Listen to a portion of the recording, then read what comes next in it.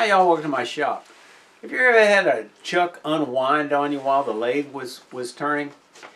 It, let's talk about this kind of uh, situation and what might cause it to happen how we can prevent this kind of uh, situation from occurring which could cause a, a, severe accident.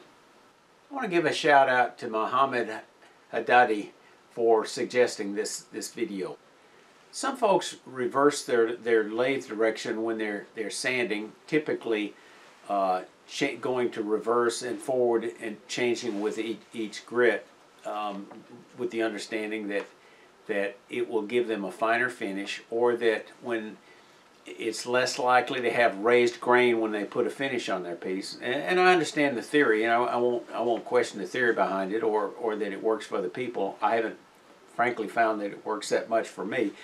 Uh, perhaps because larger pieces I tend to buff and uh, with the Minwax antique oil going in into it and, and buffing it, you know, I'm not going to have an issue with, with the finish.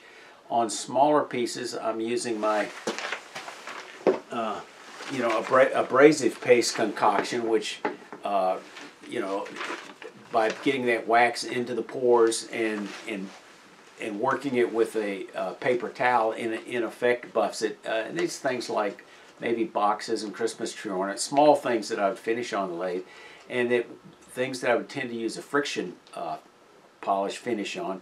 So when you take a paper towel and you do a friction uh, polish, you're in, in effect buffing it. So frankly, I haven't found it that you know that that helpful to me. Uh, that that said, I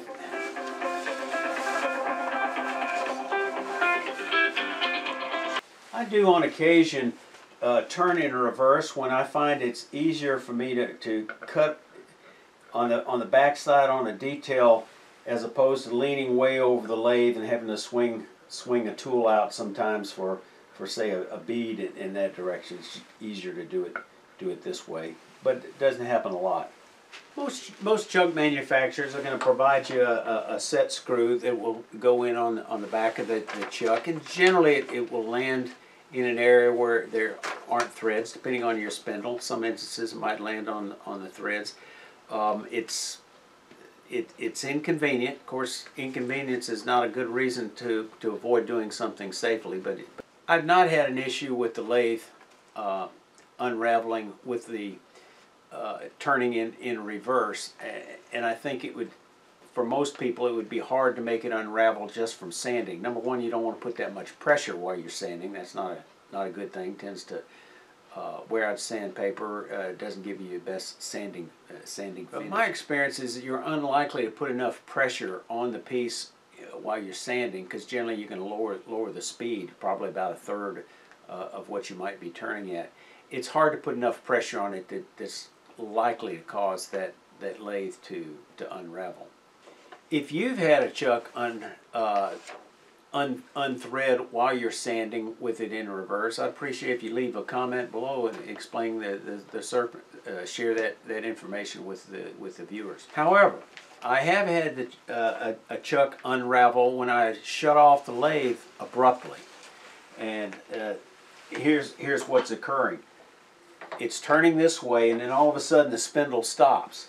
And you've got this big mass of, of of metal, maybe with a large unbalanced project on it, uh, and, and it has a tendency to act like a big flywheel. Uh, that can be rather disconcerting. I have not had that to be much of an issue with, with a smaller smaller chuck. Never had it happen with a small chuck, uh, with a small project. Only this bigger chuck. Uh, this medium size uh, Supernova 2 or, or the equivalent record, record power SC4 chuck weighs uh, 4 plus pounds.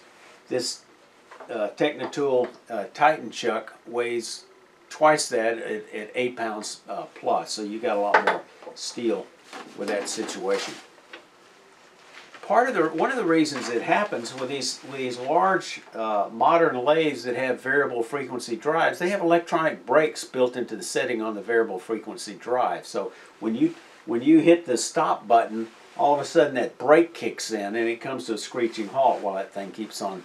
The momentum uh, uh, has a tendency to keep that, that thing going and, and possibly unthread. And you could have the same thing with with a uh, a smaller faceplate that had a very large project on it that's very heavy. You could have that same situation occur. So what are the solutions to, to prevent this from happening? Number one, uh, don't use the lathe in reverse. That's one possibility. Uh, put on a chuck with a slight flick of the wrist. You know, make sure it's locked. Just give it a little bit of a pop. But I think for me, where, where it occurs when I'm turning the lathe off, the most significant uh, takeaway is don't hit the stop button it, uh, with a large lathe uh, project, especially if you've seen it, there has a tendency to happen with your particular setup. Slow the lathe down with your uh, speed control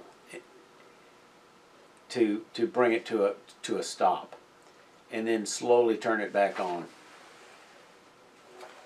And of course, the last solution one manufa- that the manufacturer suggests is is use your, uh, your your set screw to hold it on if you've got any concerns at all. And remember, y'all stay safe. Come on back here.